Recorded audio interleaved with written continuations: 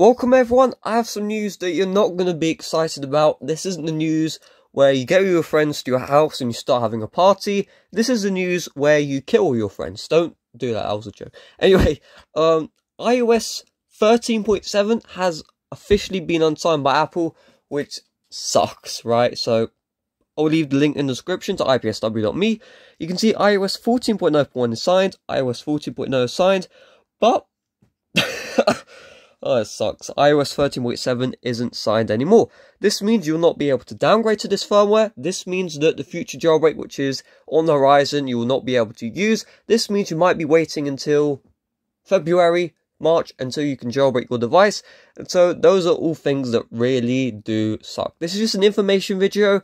Um, there is literally no workaround because this is Apple servers. And we all know that Apple servers don't play nice. So just keep that in mind. There's literally nothing you can do. You can cry, sure, you can jump off the window, but you're not going to fix the fact that iOS 13.7 uh, isn't unsigned unless a downgrade party happens, which um, hasn't happened in like three years, so um, you are kind of out of luck. A downgrade pl- a party, if you don't know, is when Apple signs all the iOS firmwares by mistake. This has happened twice, and it could always happen again, so you might want to you know, subscribe to this channel because when it happens, you know, the party's going to get started very quickly. I'll see you guys later.